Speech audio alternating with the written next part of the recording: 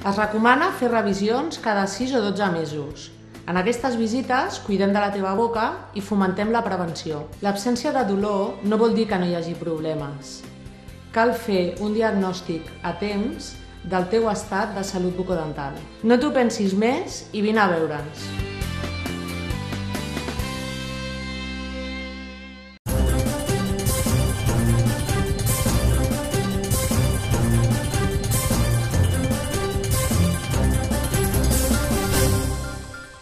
Vergonya és la paraula que ha presidit l'acte que s'ha organitzat a Sant Andreu de la Barca en suport als refugiats. Huida de la guerra, lo único que quieren es eh, una tierra de acogida mientras se arregle el problema. Y si nosotros no asu- asumimos eh, como ciudadanos y como estados nuestro, nuestra responsabilidad hacia este, este fenómeno, eh, estaríamos fa- fallando, pero a todos. però sobretot per forçar els governs a prendre mesures efectives per, com a mínim, començar a moure les fitxes per donar solucions a les milers de persones que en l'actualitat estan en camps de refugiats. 130 persones són les que han respost a la crida per encendre espelmes i simbolitzar el suport que els volen transmetre. Un acte en el que no hi ha hagut logotips de formacions polítiques, però des de la formació política que ens ha convocat, si es pot, s'ha volgut deixar clar que s'estava a títol personal i no com a representants polítics que són.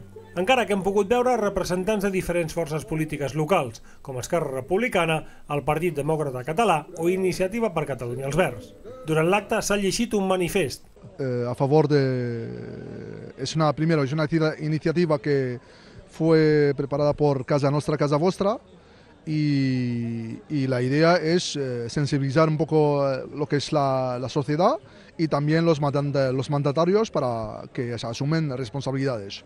Aquí sabemos que, que se han firmado acuerdos, pero no se están cumpliendo. Seguint les paraules de Jordi Évole durant el seu Parlament al concert celebrat al Palau Sant Jordi, el Samir creu que continua sent un problema d'incompetències i que no es vol agafar el compromís.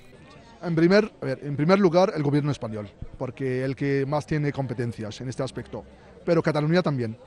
Eh, tiene que haber voluntad política. Y no la vemos. No quieren. Nadie, parece que nadie quiere llegar a este acuerdo, ni nadie, ni nadie quiere asumir esta responsabilidad. Y no, no es así.